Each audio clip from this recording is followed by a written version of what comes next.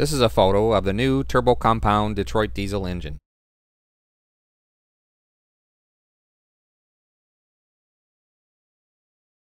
This photo shows the various parts of the turbo compounding system.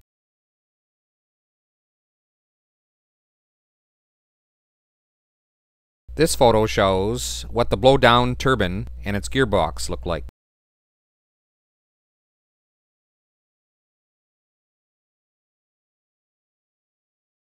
This is the fuel consumption chart.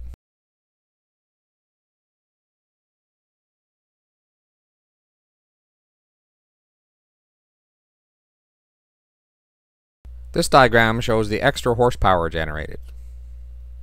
This is an amazing achievement, as diesel engines are quite efficient compared to a gasoline engine.